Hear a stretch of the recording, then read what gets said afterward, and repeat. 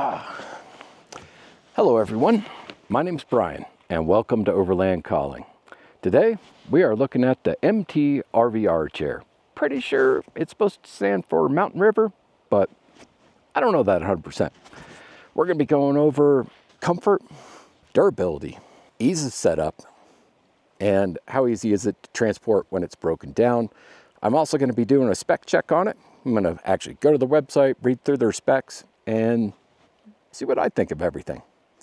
So, all right, I got two weeks of having my butt in this chair on a camping road trip. So I think I got a pretty good idea of it. Let's get going. I travel around in all kinds of different environments, do a lot of camping. And with that, I get to really put gear to the test. I'm not just here to sell you crap.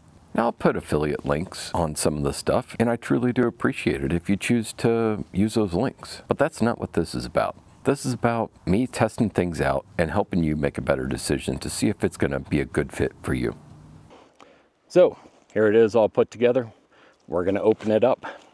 I'm gonna do this all in one take, so you know I didn't pull any fancy editing tricks while I spent 10 minutes trying to open the darn thing. All right, you find the Velcro strap, open it up. Hold the legs when you do this, unless you wanna get hit in the face because it will try and open itself up. And that's fine. All right. Pay attention, this part matters. Butt bar. This is the one that you're gonna be sitting on. It'll, it's the one that comes out right here. So butt bar, it only has one position to click out. You're gonna pull it out, you're gonna click it. You're gonna go to your other butt bar. You're gonna pull it out and click it. Now you're gonna go to the back bars. You're gonna click them once. You're gonna go to the other back bar. You're gonna click it once and then a second time. And then you're gonna go to the last remaining back bar and take it for its second click. This is probably gonna be the hardest. You'll have to give it a little oomph. And then, bam, you are set up. If you don't do them in that order, it is harder to put together. Ask me how I know.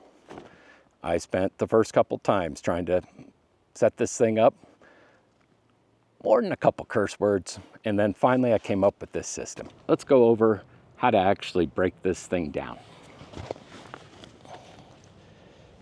I may stutter, I may say weird things, I'm not going to edit this. So, Got the back bars. In. Back bar number one. In. Back bar number two. In. Back bar. Ah, you, you get the idea. Both back bars, all the way in. Butt bar. Butt bar two. Flip it upside down. There's a little pull ring right here. You have to pull that. If it's giving you a hard time, just push in on these bars, pull, and then it flops down. I take the fabric and I shove it up inside of it. And then I squish everything down. Find that Velcro strap that is hiding in the most inopportune place. Wrap it around and then Velcro it in place. Bam, that's it. May not look pretty, but the dang thing's together. Mesh fabric back, nice comfy pillow, and then a nylon seat. Let's talk specs. I'm going on their website. MTRVR lounge chair. Website says, manufacturer website says it's $189.99 at the time of this video, which is August 17th. Easy folding and carrying.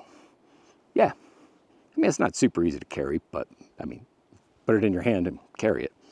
Exceptional weight capacity with an impressive weight capacity of 600 pounds. I have no idea if that's true or not. I'll tell you what though, 200 pounds of old dad bod, yeah, it holds. 200 pounds, no problem. Premium nylon comfort. Yeah, I'll buy that one. Aluminum alloy frame. Yeah, okay. Sure, it hasn't broken on me yet. Breathable mesh back. Yeah, I'll say that. Now, I've been in the mountains for the most part, so it hasn't been the hottest it could be, but I haven't noticed anything bad. Patented support system. It supports me. Unmatched portability. Hmm. Eh, no, there's more portable chairs around. I'll tell you what though, the lounge aspect, I don't care how far I got to carry this thing. I want that lounge back. I can't stand the low back chairs. Stylish and practical, yeah, sure. I mean, 190 bucks for a camp chair. I, I wouldn't call it practical, but put your money in comfort and it's pretty hard to go wrong. All right, weight six pounds. Size when it's extended is 13.8 by 29.5 by 40.1 inches tall. Sure, I'll buy that. Comes with a one year warranty and it has upgraded rubber feet. Let's see what they're talking about here. There we go.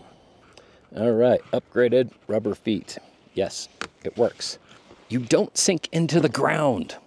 Oh my God, that's so nice my other camp chair, uh, yeah, first time I sat in it, it immediately drove itself into the ground.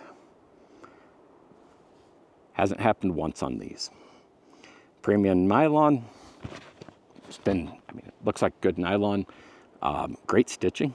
The patented hub, that's the thing in the middle that locks it together. It works really well. Uh, waterproof, honestly, I have no idea. I haven't had it out in the rain. I put it away. Good sewing, tear resistant. Easy to clean? Yes, it's easy to clean. I have gotten it dirty. Simple setup? Yeah. Stable comfort. All right, let's talk on this one a little bit. It is not the most stable chair I have ever sat in. I've had a couple instances, you know, I'm leaning for something and I'm like, oh crap, I'm gonna fall over. I haven't fallen over in it yet, but it is not the most stable chair that I've ever sat in. That being said, I just pay attention a little bit. As long as I kind of, you know, get my legs out, even out my weight, bam, super nice.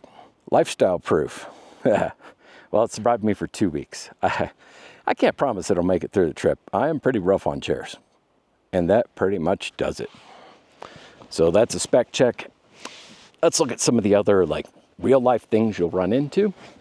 Height wise, it's one of the little like camp style side tables. It is the perfect height. If you don't have one of these,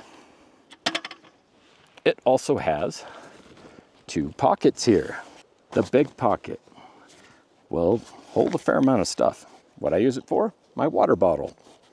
Goes right in there, plenty of room. Second pocket, definitely big enough to hold any cell phones or anything like that. And more than adequate for a beverage of your choice. Anything the size of a Coke can fits in there, no problem. All right. So, pretty dang comfy. But if I'm gonna have a lounge chair, I usually mega lounge. So I got one of these little like tripod they call them chairs. Nah, they're not chairs. This is the ultimate footrest. Kick back, enjoy life, and you're good to go. And for those of you on televisions, here's a QR code that you can use to take you to Amazon uh, if you're interested in purchasing it. Um, for everybody else, links in the description. I know y'all were looking at that view probably more than you were looking at me. Like, I get it. I've been staring at it for days myself. Um, so anyway, 190 bucks for me, it was worth it. Is it for everybody? No, absolutely not.